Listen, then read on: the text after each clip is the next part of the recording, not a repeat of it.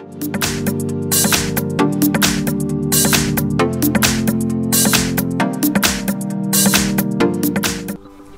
I have Karbonn K9 and Kavach and let me show you how to enter here the save mode on the following device. So at the very beginning let's start by pressing the power key.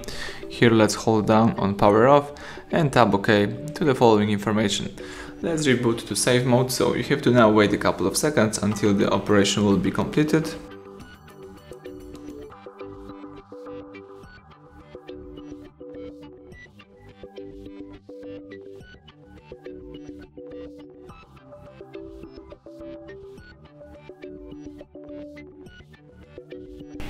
As you can see the save mode pops up, so here you can unlock the screen and start using your device in a save mode, so you can check out how your device works in the save mode.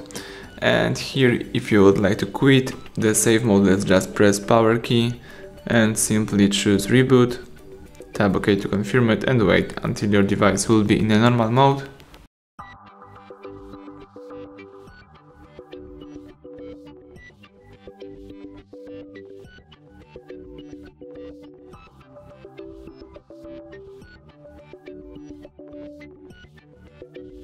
Excellent, so now you can start using your device in a normal way. Thank you for watching, please subscribe our channel, leave thumbs up under the video.